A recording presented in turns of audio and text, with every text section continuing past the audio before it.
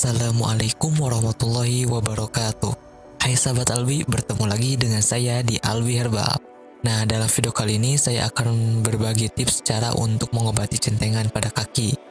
Namun seperti biasa sebelum berlanjut video kali ini, sahabat jangan lupa klik tombol subscribe dan juga tombol loncengnya Agar sahabatlah yang pertama kali tahu ketika ada video-video terbaru dari Albi Herbal Centengan jempol kaki terjadi saat bagian tengah atau sudut kuku jempol kaki tumbuh menusuk kulit di dekatnya. Meski bukan kondisi yang serius, centengan jempol kaki harus segera diatasi agar tidak menimbulkan infeksi. Centengan jempol kaki akan membuat jempol kaki terasa sakit, bengkak, dan juga kemerahan. Untuk mengatasinya, sahabat bisa lakukan sendiri perawatan sederhana di rumah. Salah satunya itu menggunakan bawang putih ini. Namun perlu dicatat perawatan ini disarankan untuk kasus centengan jempol kaki yang ringan dan belum berkembang menjadi infeksi. Oke, tanpa basa-basi lagi, kita langsung saja membuat ramuannya.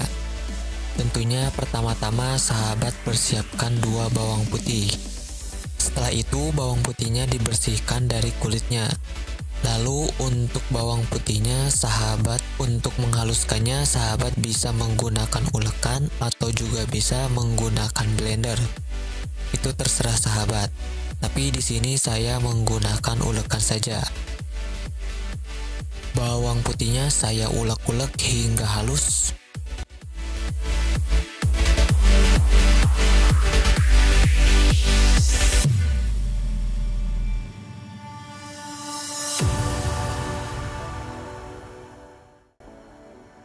Setelah halus seperti ini, lalu sahabat campurkan dengan tambahan minyak kelapa.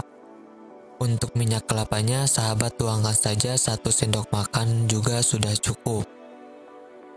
Lalu setelah itu aduk-aduk hingga kedua bahan ini tercampur rata.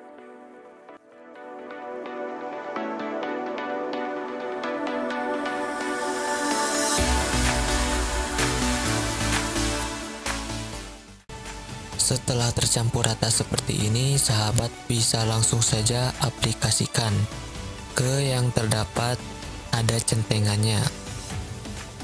Saya contohkan, misalnya di jempol kaki saya terdapat centengannya. Itu misalkan ya, tinggal oleskan saja ramuan tadi ke centengan yang terdapat pada kaki.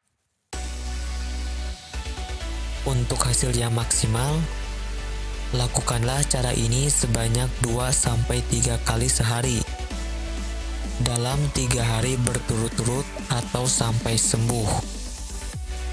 Bisa dimengerti ya sahabat? Nah itulah cara untuk mengobati centengan pada kaki. Sangat mudah sekali kan cara membuatnya? Sahabat bisa lakukan cara ini di rumah. E, jika informasi ini bermanfaat, jangan lupa like, share video ini agar semua orang tahu tips ini. Terima kasih, selamat mencoba. Wassalamualaikum warahmatullahi wabarakatuh.